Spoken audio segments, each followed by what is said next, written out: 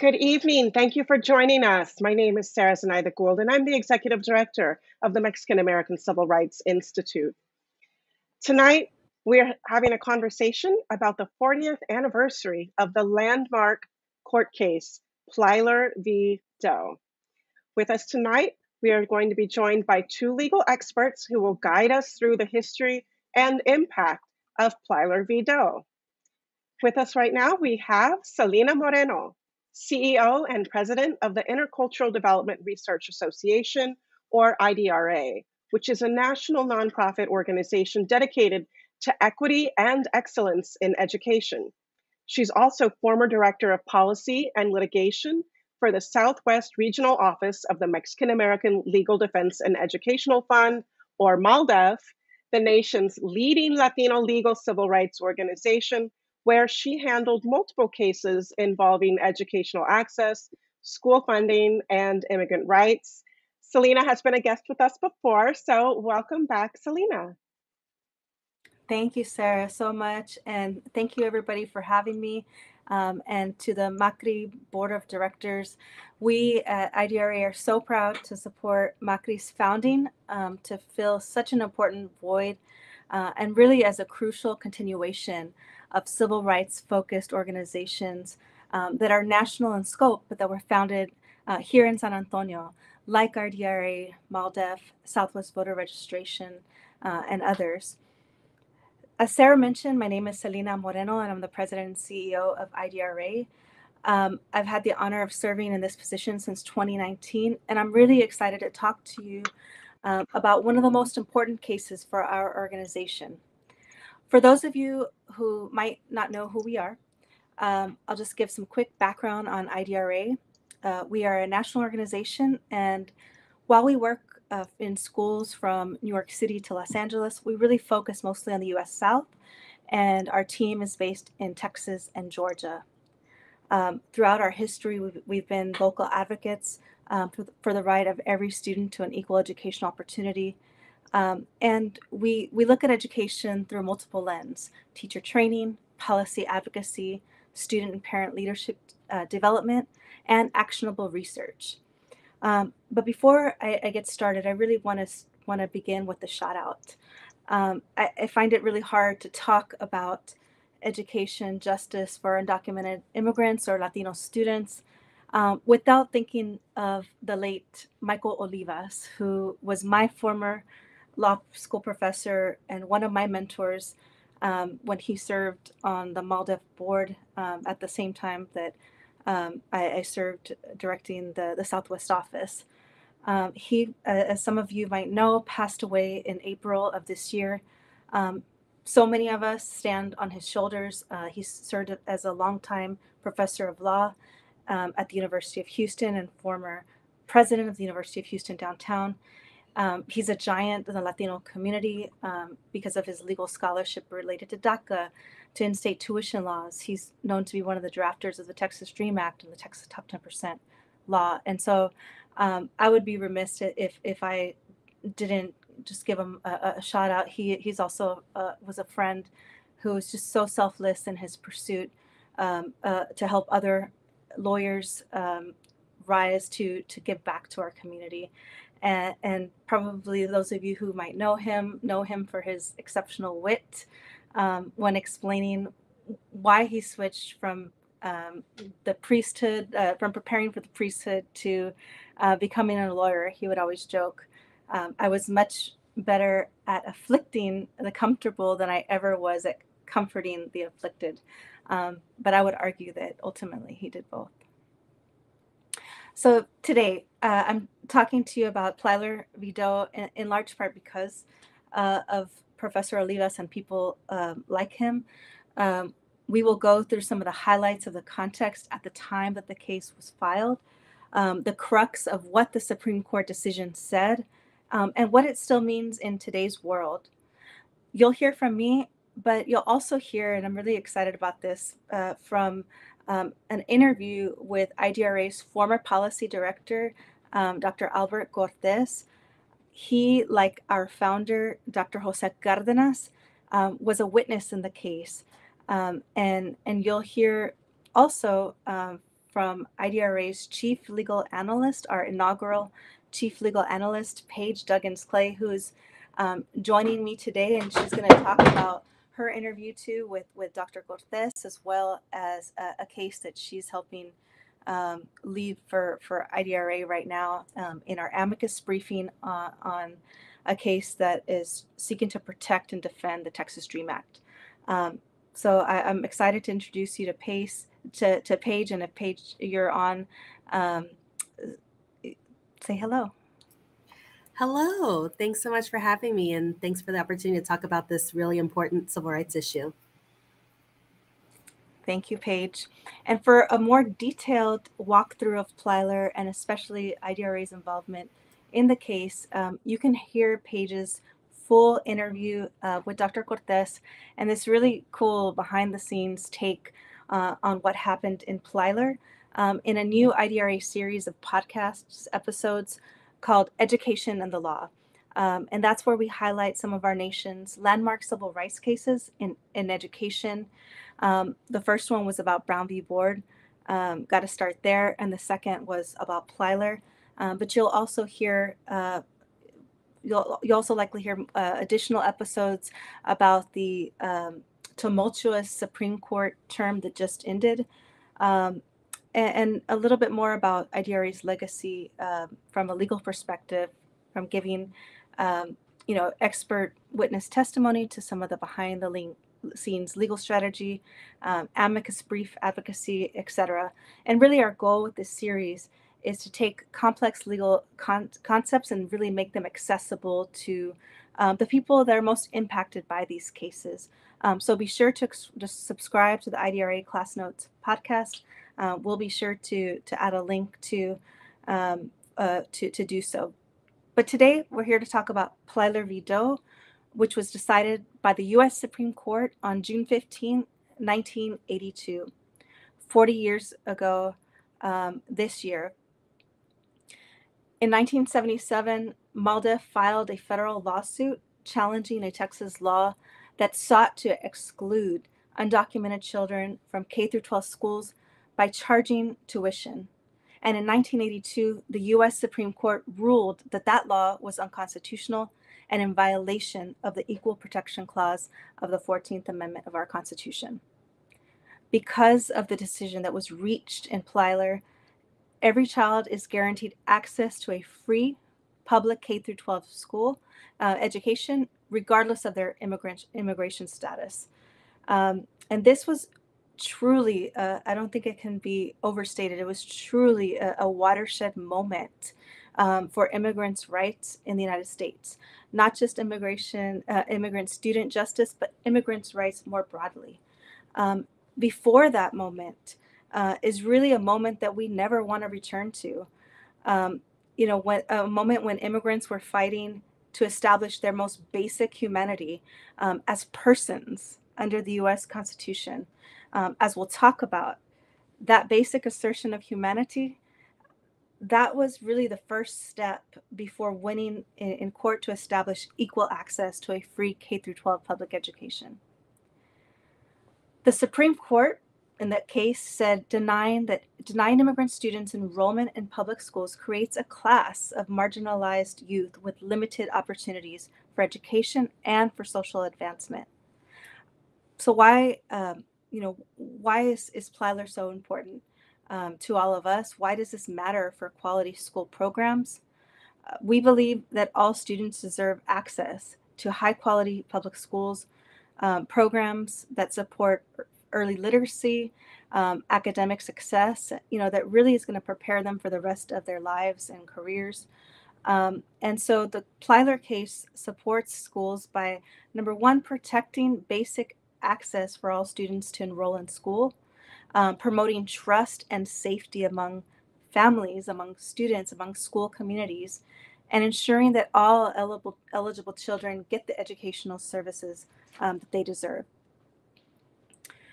The Supreme Court recognized that denying th- this benefit to to uh, these children really creates an underclass of Americans. Um, you know, we would see illiteracy rates increase. We would see opportunities for workforce and community participation um, diminish.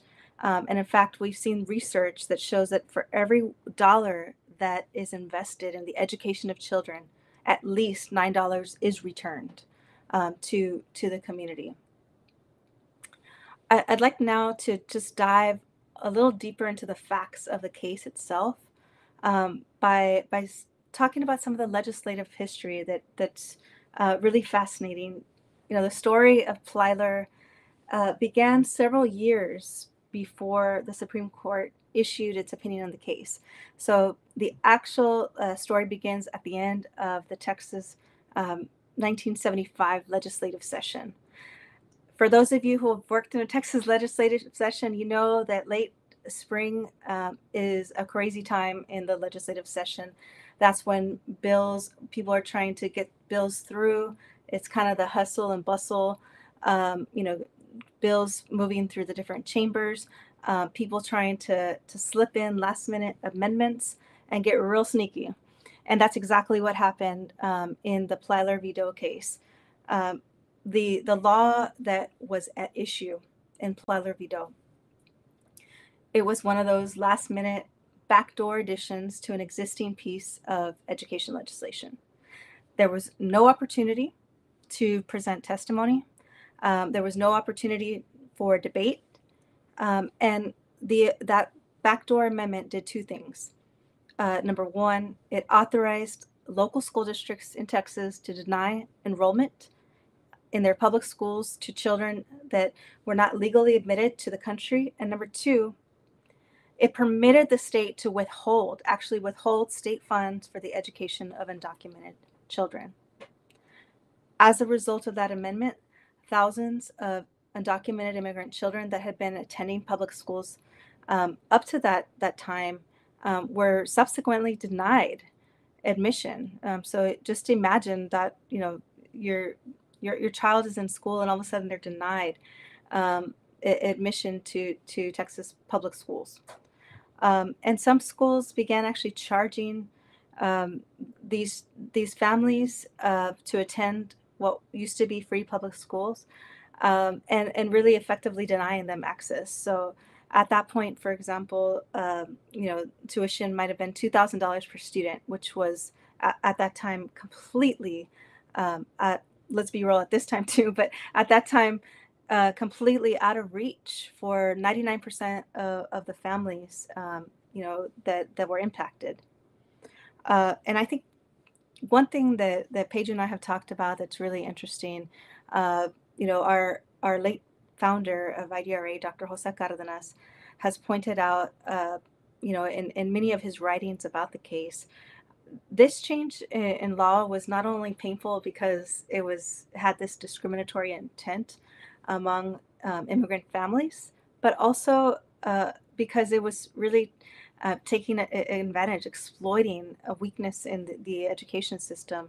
Um, you know, the, the insufficiency uh, of school funding uh, in Texas public education that had been going on for decades. Um, you know, that I know uh, IDRA certainly, MALDEF certainly, and many, many of us, um, you know, care deeply ab- ab- about and, and are still fighting to um, remedy. I want to just take a pause Paige and, and uh, you know, you, you had a really fascinating conversation with, with Dr. Albert Cortez um, from from IDRA about um, his his time um, with and his experience with with Plyler. Doe. Uh, he he talks a little bit with you about you know who who are the people that are impacted um, you know in, in, the case? Who who are the fa- these families? Um, and and many of you I think in the MACRI community of course know um, you know, who, who Peter Roos is, um, the the attorney that uh, one of the attorneys that argued the case, and, and he talks, you know, in, in oral argument about who the the Doe family is. Right, they've been here since since 1964. They own property in Tyler, Texas. They pay taxes on that property, um, and their children have been a- attending schools for five or six years before um, they were actually excluded, you know, from from the from their their schools. But Paige, uh, if you can just set up, uh, and we're going to show a clip of, of that conversation that you had. If you could just set that up for us. Yeah, absolutely. Thanks so much, Celina. Um, you know, I really can't encourage the community enough to check out the podcast recording with Dr. Cortez. He's a treasure, um, and his perspective and insight and sort of the workings not only of the case, but of sort of the policy implications and the real people who are involved is just really worth listening to the full conversation. And one of the things that I really um, had a deeper understanding that, you know, I think those of us in the civil rights community sort of innately assume um, and understand, but that wasn't, you know, clear is the real danger that these families faced when they chose to, you know, be brave and to, you know, pursue this litigation against the state of Texas and against their school district. You'll note that the case is styled Plyler v. Doe. Plyler, of course, being the superintendent and the, and the school official, and Doe being the children um, and their families. Um, that wasn't how it originally started. And I think it's worth highlighting that there was a case filed in Houston before the Plyler case where the parents and the and the children were named. And sub- subsequently after that were actually threatened with um, immig- immigration action and deportation and harassed in the community. And so sort of because of that um, the lessons learned from that case the litigants made a really intentional decision to no longer name uh, the the children and their families in the case. And so, notwithstanding that fact, you know, uh, you'll hear in just a moment Dr. Cortez talk about sort of the community in Tyler and sort of the political and the cultural dynamics that were at play in the state in that in that case. Um, it was clear, you know, in many ways what what children were um, bringing the suit, and they really faced tremendous adversity in their in their families in bringing this case to get the right outcome, not only for their school and for the state of Texas, but as you'll hear Dr. Cortez talk about later in our talk today, for the entire nation. So I just can't speak enough about their bravery. And I'll let uh, Dr. Cortez tell you in his own words about um, what the community in Tyler, Texas was like at the time this lawsuit was filed. Okay, we're going to the clip. So you mentioned we're in Tyler, Texas. You know, our listeners are not just from Texas; they're all across the country. Can you can you give our outsiders um, a perspective? What's Tyler, Texas like, and what was it like litigating an immigration civil rights case in, in this community? Well, well, well, Tyler was was was selected in part because it was uh, somewhat typical of many of the small, uh, smaller school districts around the state enrolled, uh, I'd say at the time, probably around 10,000 students total. It had a handful of undocumented immigrant children enrolled. So there weren't really significant cost savings uh, that would have been realized to, to the district. But there were sub elements within the community and within the school system that felt that undocumented immigrant children didn't deserve to be educated in Texas public schools, uh, using essentially a, an erroneous assumption that they were here uh, and that the education of their children was being exclusively subsidized by uh, legal Texas residents, when, when the truth was that these families pay taxes like every other family. They paid property taxes either through rents or, or, or payment on their homes. Mm-hmm. Uh, they also paid sales taxes. They paid uh, gasoline taxes. Uh, and like any other person living in the state of Texas, there was no escaping. They're contributing to the state uh, economy. So there really was a, a, a, an issue, a, real uh, concern that people saw that some or other these undocumented immigrant children were uh, being uh, uh, subsidized when in, in reality the parents were just seeking the benefit of education just as education was being provided to every other tax-paying uh, individual in, in the state of Texas.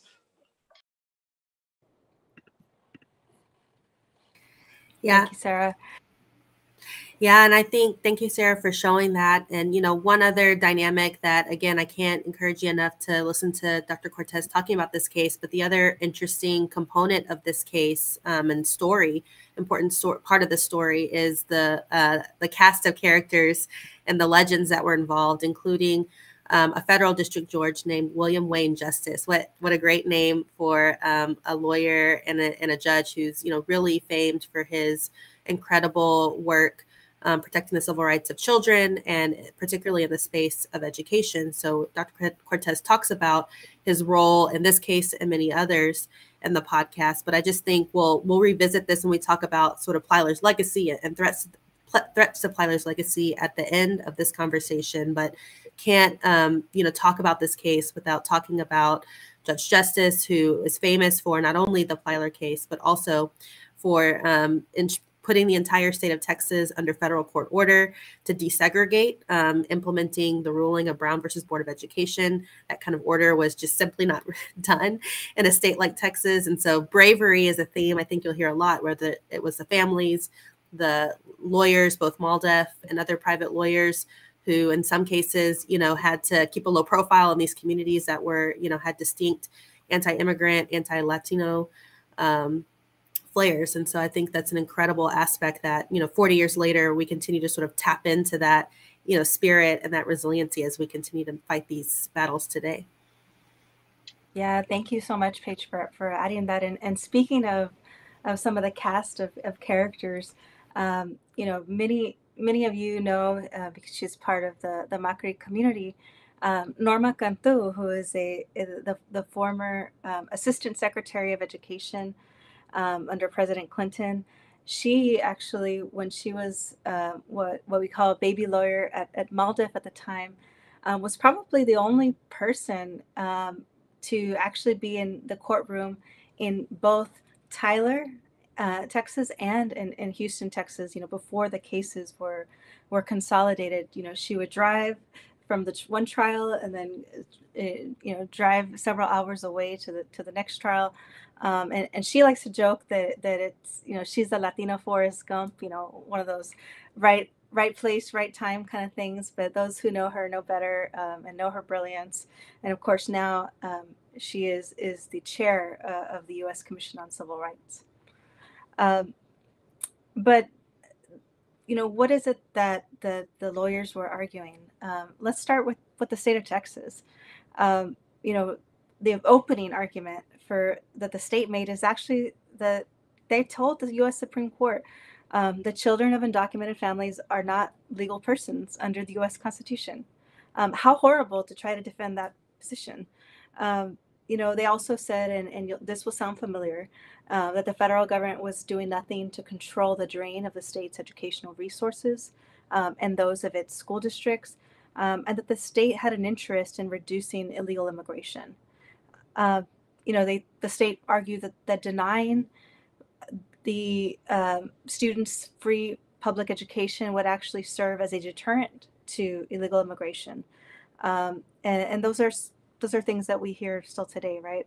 Um, Texas argued that immigrants were coming to the United States to take advantage of education, um, but it came out in oral argument that that's just not accurate, right? Actually, 90% of, of undocumented immigrants at the time were not even bringing their families um, with them when, when they crossed the border.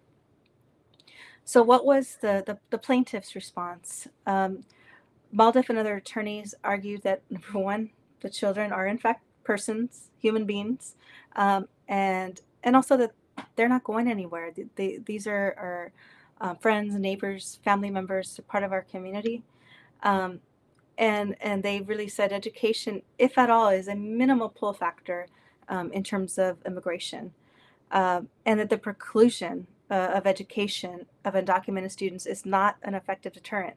It's not going to address the issue of, of unlawful immigration, um, and you know, by the way, uh, Texas trying to address that interest does not out, outweigh the, the fundamental harm uh, being done uh, to these children by denying them public education. The lower court sided with the plaintiffs. Um, the Texas Education Agency fought tooth and nail um, in this case, uh, taking it um, to the Fifth Circuit, appealing, and then when they lost there, appealing again to the U.S. Supreme Court. Um, so some pretty ugly stuff. Uh, what happened when they got to the U.S. Supreme Court? Well, first, the Supreme Court said um, you know, that thing called Equal Protection Clause, you know, which says, nor shall any state deny to any person within its jurisdic- jurisdiction the equal protection of the laws. Um, so, yes, uh, the Supreme Court said undocumented persons are, in fact, persons.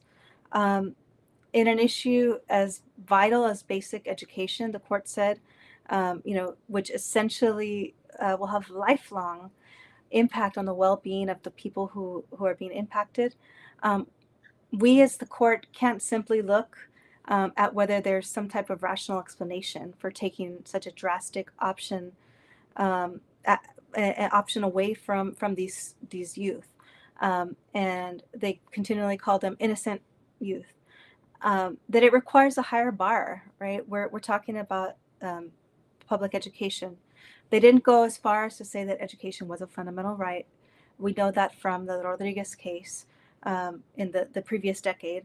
Um, but they said there has to be such compelling damage done to the school district or to the state of Texas um, that the lifelong harm that's being imposed on these children would be offset. And that's not the case here. The court also noted that the impact um, was not only to the children, but also uh, you know, in terms of their education, but also their inability, um, you know, to later be able to find employment, to access healthcare, um, you know, even even um, accessing um, the justice system in a fair manner. Um, and and those are things that if they were denied complete education, um, they would suffer. the court went on to say that this Texas law, you know, which really directed the onus of a parent's conduct um, you know, it, and and using that against their kids um, doesn't comport with fundamental concepts of what justice is. Um, so, you know that that was a huge part of the court's decision, and again, just the pivotal role that education plays in our society, in our democracy. Um, you know, sustaining our political and cultural heritage. Um, you know, for for better or worse, right? That, that it's just a key part of, of who we are um, as, as a nation. Um, and it said, you know, that, that education is not just some other benefit. Um, it, it's not, uh, you know, it's, it, is something to be distinguished from other types of social welfare laws. Um, and that they have, have recommended, uh, really recognized it as a key part of our, our system of government. I, I want to go back to Dr. to you, Paige, and to Dr. Cortez about what it was like to actually feel, um, you know, that decision and, and, and be there when it happened.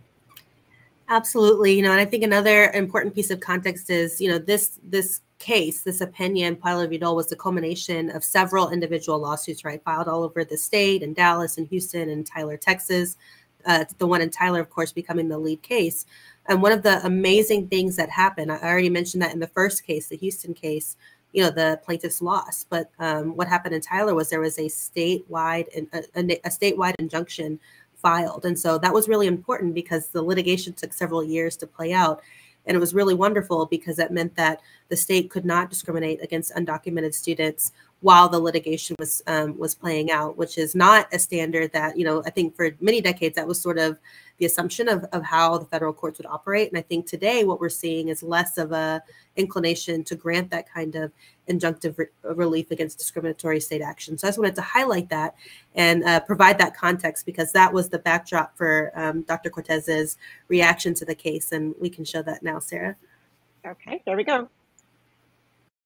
Remember when the decision finally came down that that that day when it was announced the ruling was announced what a tremendous what a tremendous uh, victory that was but more importantly what a tremendous relief it was for that fundamental issue about access children having access to public schools was and and and I smiled as I thought back that it let it be Texas.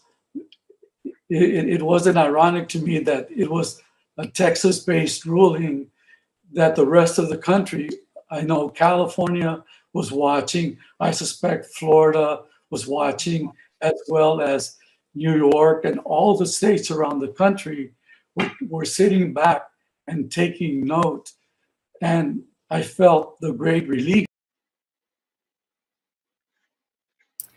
Yeah, I, I I've watched that clip a million times, and every time I just get goosebumps, Sarah and Celina, just to to to think about that moment. And I love going back to that moment and to Dr. Cortez's, you know, experience in that case too, because you know, there's it's tough in the in this current climate um, when we're litigating civil rights cases, whether we're litigating them or we're working on, you know, state or federal civil rights policy, particularly in the education context. We've just seen over the last several years um, really, really challenging environment to sort of affirm the values um, that, you know, for many, many years have been sort of foundational principles. And so uh, when I'm feeling discouraged or overwhelmed, I always think about Dr. Cortez's words and, and just um, feel re-energized knowing that there's sort of the continual path forward.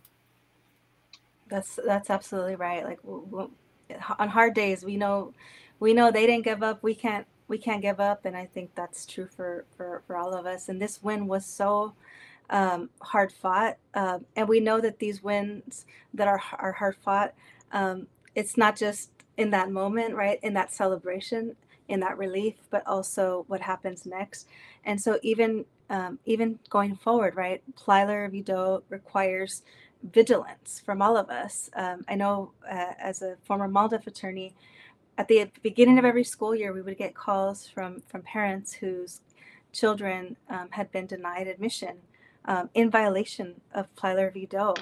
Um, and so that's why for, for decades, IDRA has partnered with MALDEF and many, many other of our coalition partners uh, to send out a school opening alert to families, to advocates, and to school districts directly um, to help inform them. Uh, here are uh, here are our students' rights. Here's what the law says. Here's what your obligation is.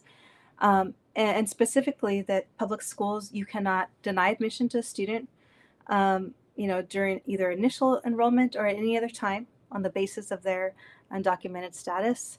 Um, you can't treat a student differently differently to determine their residency. You can't engage in any practices um, that would chill the right uh, of access to school you can't require uh, students or parents to disclose um, or document their immigration status. Um, you cannot require, um, you know, social security numbers, right? Uh, that's something that would expose um, somebody's undocumented status. Um, and that if you do ask for for um, those numbers, you have to also be willing to assign another number to to a student, so so as not to I- exclude them um, you you can't make inquiries in other words um, that really seek to get around Plyler and, and those those steps are and, and, obligations to schools are really important and not everybody to this day right there might be an attendance clerk or might there might be a counselor that still does not uh, know so it's important every year to reaffirm Plyler um, because there are current attacks right um, and and we'll share the our school opening alert um, and and resources that we that we send out each year. Um, but yeah, we, we know there are, are current attacks. Um, you know that even though the Texas law says all students uh, uh, of a particular age, six to nineteen, they have to attend school.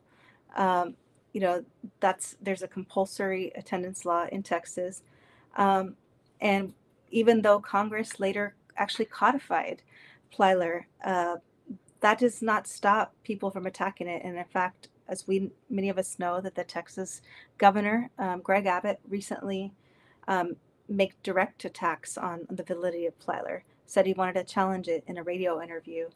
Um, you know, said that states have to come out of pocket to pay for the federal government's failures.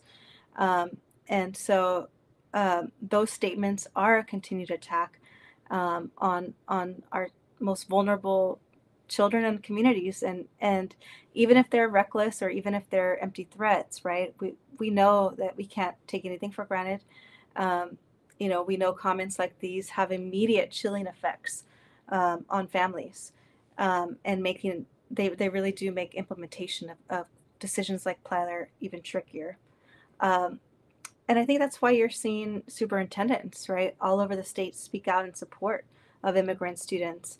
Um, you know, it, it's things are different uh, than they were before. Whereas whereas even border um, districts were on the side of the state as co-conspirators. Um, you know, you're you're seeing now that un, unlike that time in Plyler, many school districts um, are are whether they're low wealth, high wealth school districts, urban, rural, um, big or small, they came out, um, you know, supporting immigrant students in the face of, of these um, attacks by by the governor recently, um, and and several of them actually put statements out condemning um, the governor's comments, um, and so that that's something that um, I think is is different now. Um, but there are also a lot of things that are different uh, in in a bad way, right? we we know that Plyler's well settled law, but that hasn't um, stopped uh, the the Supreme Court, um, you know, from from taking drastic action uh, on other types of well settled law. Uh, in in Plyler, a case that seems many so obvious to us, right?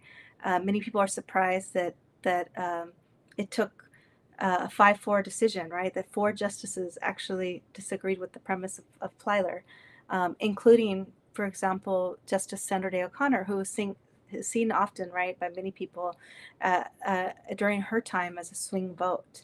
Um, and, and, really, by the end of her tenure, frustrated with the direction the court was taking. And of course, um, since that time in, in 2006, since she retired, things look very, very diff- different for the court um, with Justices Alito, um, with Justices uh, Kavanaugh, um, you know, Coney Barrett, um, you know, Roberts and uh, Gorsuch being additions to the court. And so we really can't take anything uh, for granted.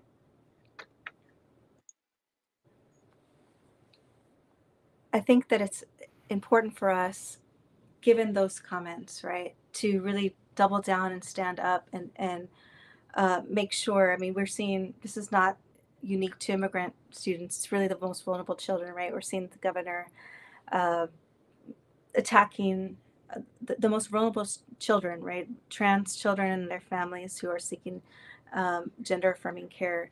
Um, you know, students who who um, are are undocumented, um, and so I think we have to continue to be vigilant. Um, Plyler is also uh, a foundation, right? So these these Plyler students, all these years later, um, you know, became became other uh, they, became dreamer students. They became daca recipients right? It's really a key legal authority that we have to protect. Um, and and i wanted to just turn it to you paige. Uh, you know before you joined idra as our inaugural chief legal analyst um, you were representing um, the university of north texas um, you and, and, and your law firm um, at, at the time. In, in, a case to to really uh, try to defend um, the university's right to charge out of state t- tuition, but also um, in a case that that threatened uh, the the Texas Dream Act, and and this is a case um, for for our audience called Young Conservatives of Texas (YCT). Um, they're represented in this case by the Texas Public Policy Foundation um, versus the University of North Texas. And um, for those of you have, who have attended Texas public universities in the last few decades, um, you know, you might have heard of YCT, the Young Conservatives Texas. Um, think the affirmative action bake sales that they have on campus, the Catch an Illegal Immigrant game, um, really cruel games that they play on uh, on campus. Uh, I know when I was at, at, the University of Texas in the late 90s um, for Texas Independence Day, um, they actually got a, a Mexican um, vaquero uh, in, as a piñata and, and, and just beat the crap out of it. Um, so this these are these are um, this is definitely a group, um, a fringe group that is trying to accomplish right what they could what they haven't been able to do in the legislature uh, and using the courts to attack the DREAM Act. And, and Paige, I just want to take a few minutes to talk about that case and, and the work that, that you and IDRA uh, and all of our, our, our allies are, are um, fighting for in this case. Absolutely. And I think it's important to talk about this case not only because of, you know, it is part of Plyler's legacy, but also because of this the, story. Um, and again, so much of the work of civil rights litigation and advocacy is around storytelling, right?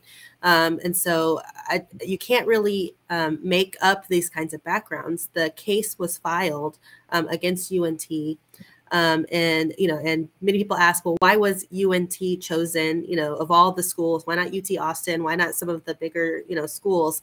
UNT was specifically chosen. You know, I think one reason is because of the venue, right? They really wanted to get um, what they perceived to be a um, favorable judge to to hear this case and to rule in favor of their, um, as Celina suggested, fringe opinion. And you know, they did. So this case is filed in the Eastern District of, District of Texas and federal district court.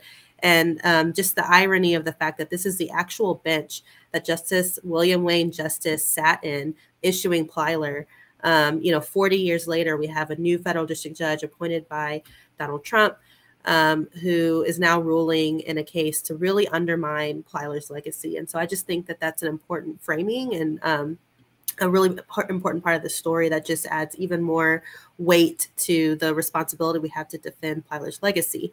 What's the case about? Well, as Celina suggested, it's really um, and and sort of like Plyler itself. There's so many interesting parallels. This is yet another backdoor attempt to undermine and get at the rights of undocumented students. Um, and so in this case, YCT has alleged that the university is violating the Constitution by collecting out of state tuition against its citizen members. Why is that? You might wonder. Um, why, do, why does YCT have the right to get um, in state tuition? Well, they don't, but they are arguing to the court that because under Texas law, the Texas DREAM Act, um, because universities are allowed to offer in state tuition to certain undocumented students who go to high school in Texas and reside here for three years, that um, that conflicts with the federal immigration law um, that ha- puts some limitations on universities' ability to provide those sorts of opportunities for undocumented students. Um, it's a really unique case, and the remedy that they've sought is really, really extreme. I can't underscore this enough, um, and it's quite clever right? Instead of asking the court, like the plaintiffs in so many other cases in California and Texas, which MALDEF has litigated, and other states, they are not asking the court to take away uh, in state tuition eligibility from Dreamers. And instead, they're asking the court to apply it to them as well. Um, and that is an indirect attack, right, on the Texas Dream Act. But the impacts are enormous, not only for the rights, um, the potential rights of undocumented students. This, of course, is going to put pressure, right, on on schools um, and the legislature to repeal the act and to you know a, an immediate effect of potentially increasing tuition rates and fees and costs. Um, and on the schools themselves right and on all texans. Um, at unt for example the university um, has put evidence in the record showing that they're already looking at uh, as a result of implementing the court's order um, you know, $80 million, $100 million shortfalls of revenue for this year. You apply that to a school, for example, like the University of Texas at Austin, that has a substantially higher um, out of state tuition um, population. Um, and you're talking about 150 million dollars, you know, if not more. And so this is a real um, effort by YCT and TPPF to once again note those parallels back to Plyler to exploit the fact that the state of Texas is not adequately funding our higher education system to achieve a policy goal that they have not been able to achieve in the legislature for 20 years since the Texas Dream Act was enacted. Um, they have filed bills and supported bills to repeal it. Um, and broad coalitions, bipartisan coalitions of Texans have just stood up and said, that's not right. That's not what we want in Texas. And so um, the litigation's ongoing, and, and we'll be hearing um, that the Fifth Circuit will be hearing an appeal in that case. And IDRA is really proud to lead a coalition um, of, of amici to encourage the court to reverse that really harmful decision. Thank you so much, Paige. Um, it's such an important case. Um, as you as, as y'all know, another really important case that affects, you know, what what many people call the Plyler children, right? That that are are now um, you know, uh, adults is DACA. Um, you know, we are all um, waiting to see what the Fifth Circuit does. Um, we know that the dream uh, of those um, DACA recipients and, and of those um, Plyler children are really really has remained unfulfilled right because yes um, you know they have access now to in-state tuition and have have daca but um, they're still living um, in, in, when it comes to daca court case to court case you know i, I had a, a, client who a former client when, when i was at MALDEF show me um, you know pictures of of gobs of hair that she was losing you know just the, all the stress from not knowing um, the next step in, in, in her life. Um, and that's just uh, uh, incredible injustice when we think about um, the, the amazing contributions um, that our, our friends and family um, and, and, neighbors uh, who have DACA um, have, have contributed, right, to, to our communities. I mean, we're, we're talking about teachers and, and lawyers and um, literally hundreds uh, of thousands of, of uh, what have been termed uh, essential uh, essential workers, you know, especially during during this pandemic. Um, and so, in addition to Governor Abbott's very uh, more uh, rhetorical attacks on Plyler, his his very tangible attack on DACA um, is real. And so, just a quick background of the case. Um, in May 2018, seven states, led by Texas, filed a lawsuit challenging DACA, um, deferred action for childhood arrivals, um, in a case called Texas versus the United States of America. Um, the case was filed nearly six years after um, DACA was put in place. Um, and since 2018, MALDEF has been representing over a dozen brave DACA recipients that have been leading that fight against the, this multi state challenge. Um, at, at, the time, I remember uh, I was actually directing policy and litigation for MALDEF Southwest Office. Our team, led by um, the incredible Vice President of, of Litigation, Nina Perales of MALDEF, um, she presented oral argument at a hearing um, on Texas's preliminary injunction motion. Um, you know, the, the, this was before the very conservative Judge um, Andrew Hanen, on behalf of the the DACA recipients um, who had intervened in the case because they didn't uh, trust, uh, rightfully so, then the Trump administration to defend DACA. Um, and importantly, then at that time, the judge denied Texas's request for an injunction uh, mainly because the states waited so long after DACA um, had begun in 2012 to actually file the case. Um, I just remember sitting at a, a Thai restaurant when, uh, with, with our legal team, uh, when the judge refused to to preliminarily halt the program as Texas had asked for. Um, and we just all screamed because we, you know, while that decision is obviously ongoing, it did not end things. It did stall the case, um, giving enough time for a new Congress, for a new president. And so it was an important um, victory in, in, that case, even though it was just one piece. Um, so fast forward to last July, that very same judge in the case um, ruled that DACA was ultimately unlawful, um, but allowed DACA to continue um, for current recipients, um, so allowing for renewals, uh, but has banned the process of, of new applications. And so MALDEF appealed that case to the Fifth Circuit.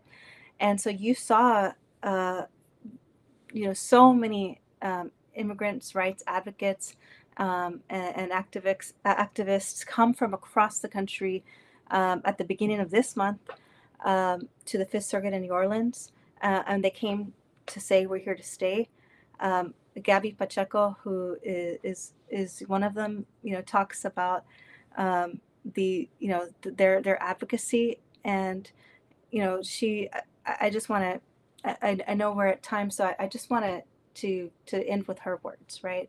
Um, as we wait for the Fifth Circuit ruling in this case, um, such a critical case, um, you know, she she said, uh, you know, the time is now, right? We, we need we need Congress to take action, right? We we can't keep allowing our our, our neighbors and families to live court case to case, court case. Um, the time is now. Our home is here, um, and we're here. Um, and so I hope that um, as we celebrate the 10th anniversary of DACA and the 40th anniversary of Plyler v. Doe, um, we remember um, how hard fought these these legislative and legal victories have been, and we stay vigilant um, and we continue in community um, to to fight for the dignity uh, of our immigrant families. Uh, I want to take some time to um, answer any questions if there is time. Um, and just thank you so much, Sarah and MACRI, for uh, for having IDRA, Paige and I here today. Um, and definitely invite you to celebrate with us next year uh, for our 50th anniversary, our, our Cincuenta Añera. Um, next year, 1973, we were founded, and it will be 50 next year.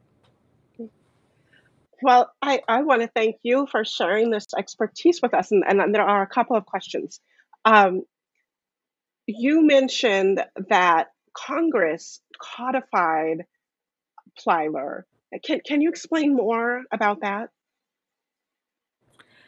Um, yes, and, and Paige, feel free to step in too. Um, so Congress, uh, I, am not, I don't remember um, the, the year, but decided to actually make it a federal law, right? Um, and so uh, I know there are there's been a lot of talk, especially with the Supreme Court lately, right, um, about long-standing precedent, well-settled law, um, you know, being being under attack um, because it's only um, Supreme Court precedent as opposed to uh, actually in statute. And so, in the case of Plyler, the the, the Congress did essentially codify what the the Supreme Court said in the case, um, and so that as a uh, it, it, it does it's not a foolproof right, but it does add a layer of of protection um, that if in, in a potential challenge, uh, let's hope we never see one, but in a potential challenge, um, that would play uh, a, a big role.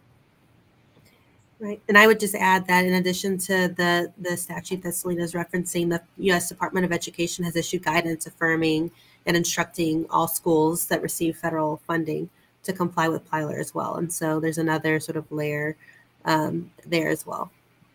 Okay. Okay. Um, it's an interesting arc between uh, Plyler as a five to four Supreme Court decision, so uh, decision that was not without controversy in 1982. But then fast forward to the Texas Dream Act, um, 2001, which was not without controversy, but was supported by uh, Governor Rick Perry, uh, who felt that that was a very important move for the Texas economy. Um, and um, and he did take some heat for it, but I think that from a university perspective, what has been heard is that it was mostly good for the universities. Um, and then, of course, for the, all the folks who were able to get a, a college degree and you know contribute to society in whatever ways.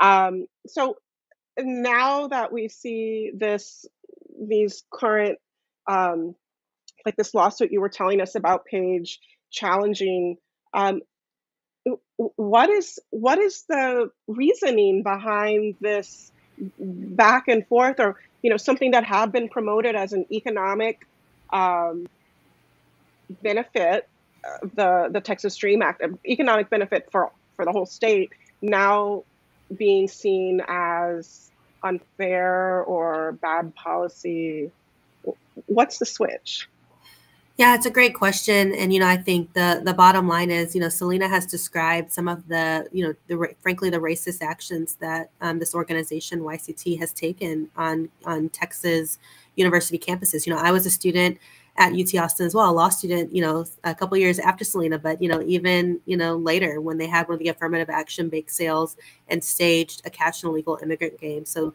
this is not about um, make no mistake that the YCT lawsuit has nothing to do with higher education access or equity. Um, it's really about attacking the rights and the opportunities of undocumented students who have, um, just like the case was in Plyler, who have been contributing to the Texas economy, who um, have been going to Texas public schools, who intend more likely than not to remain in Texas and continue being contributing mem- members of our society and our economy. Um, and so there's really no other way to explain it other than it's the exact same rationale that the proponents of the law at issue in um, Plyler did. And um, we are confident that um, you know broad coalitions of Texans, and and hopefully that will be communicated to the courts and you know affirmed in subsequent legisl- legislative sessions. Right, that that we really believe this is good for Dreamers and it's good for Texas.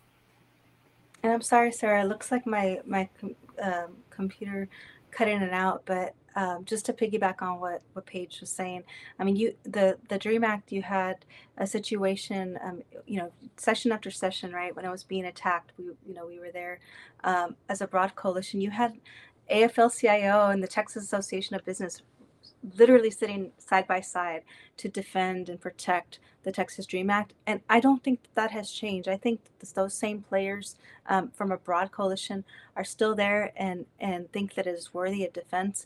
I do think that we are seeing a different um, uh, political dynamic in the legislature and, of course, in the judiciary. And so, uh, even more reason to remain um, extra vigilant. Wow. Okay. Well, uh, we've we've had a lot to learn tonight about this court case and why it's still so important 40 years later. Uh, I I don't see any more questions from the audience, but um, there are links and to the uh, podcast, so you can learn more about Plyler by listening to the podcast. You can subscribe to IDRA's newsletter. They always have lots of information about what's happening, uh, particularly around education and um, policy in the in Texas, but in the US. Um, so always chock full of good information. And of course, we want to congratulate you, almost 50, um, and looking excellent. um, and what a wonderful uh, resource IDRA is for our community. So thank you so much. Um, I do want to invite everybody to join us again on Wednesday. On Wednesday, we'll be kicking off a new series of MACRI Talks focused on Mexican American civil rights sites. So we'll begin the series with an introduction to El Paso's Segundo Barrio neighborhood, which is now a National Historic Landmark District. Find out what that means and more on Wednesday, 6 o'clock, right here.